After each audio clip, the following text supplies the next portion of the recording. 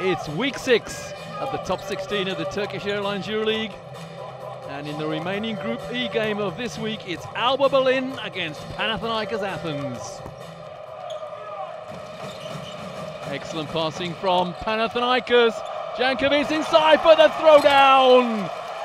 Very, very patient offense from Panathinaikos.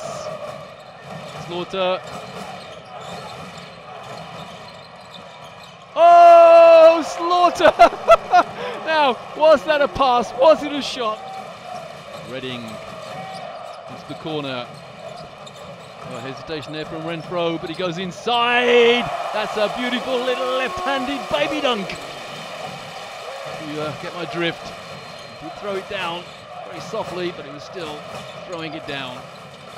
This time the matchup is McLean defended by Gist. McLean goes inside, and the follow-up, and the follow again.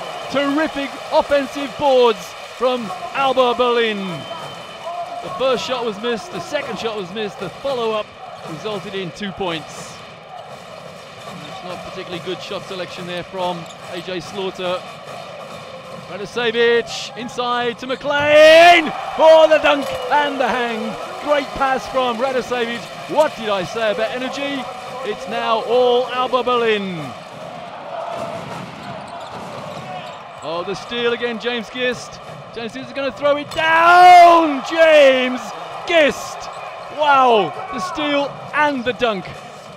There's a fifth offensive rebound for Fotsis. Great positional play from a great Greek international, Antonis Fotsis.